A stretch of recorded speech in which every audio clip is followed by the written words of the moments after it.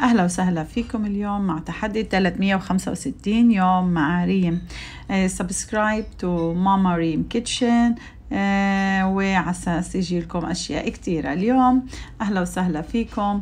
واليوم آه، أنا حسجل فوق اللغة الإنجليزية معلش لأنه اليوم كان عندي شغل. فإن شاء الله في الأيام الجاية حنحكي تسجيل خاص باللغة العربية. زي ما أنتم شايفين هنا حستخدم عيدان القرفة. القرفة موجودة في كل بيت في كل مطبخ فكتير كتير مفيدة ومش ضروري نستخدم القرفة الغالية ممكن نستخدم القرفة عيدان القرفة العادية. فأنا شو سويت؟ آه، أخذت تقريبا كبشة في إيدي وححطها حطيتها في مرتبان ونقعتها بمية سخنة طول الليل. هلأ لما أنا بحب هاي الطريقة إيه، لأنه كتير كتير بصير طعمها طيب وبتعطي حلاوة وممكن الحلاوة نستغني فيها إيه، عنها فيها عن أي سكر أو محليات أخرى خاصة للناس بيعملوا دايت. هلأ القرفة مفيدة لجسمنا ل...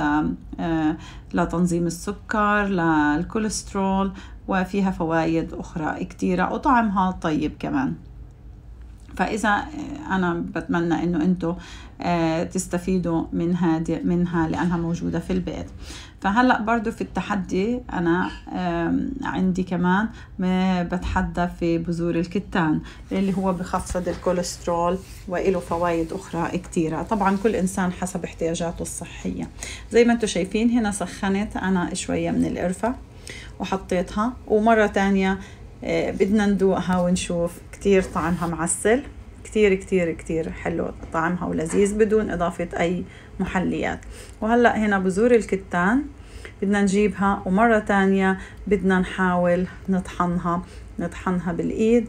آه أنا بحبزش بالخلاط لأنه مش حيبينوا هدول هاي المعلقة فنطحنها بالإيد.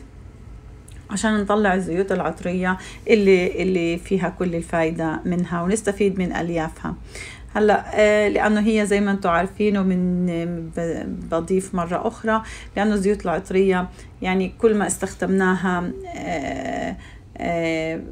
آه، آه، فترة قريبة بتكون أفيد. المهروسة واللي مطحونة من السوق بتكون راحت الزيوت العطرية منها تستفيدوا بس من اللي هي الألياف.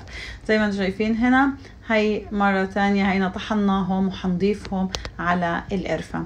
هلأ بذور الكتان حتترسب بالقاع. وحتشوفوا عندكم كيف حيطلع آه، آه، الزيوت العطرية حطف على السطح. بنغطيها شوية وبعدين بنكشفها وبنشوف كيف بذور الكتان نزلت في القاع فأي حدا خايف يتشردى ممكن يحطها في مصفاية. هاي أنا بحرك بالمدقة. آه فهلا زي ما أنتم شايفين الزيوت العطرية بدأت تطلع على الوجه وبذور الكتان نزلت في القاع بس بمنعش انكم تستخدموا مصفى كتير طعمها طيب.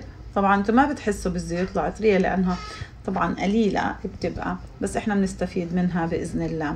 وهي من زي شايفين اللي زاد من القرفة والمية اللي زاد ممكن تستفيدوا منها بأي مشروبات تانية تشربوا كاسة تانية تشربوا باقي أفراد الأسرة منها. وإن شاء الله بألف صحة وعافية يا رب. وإذا عجبتكم اشتركوا في القناة وفعلوا الجرس وشاركونا في التحدي.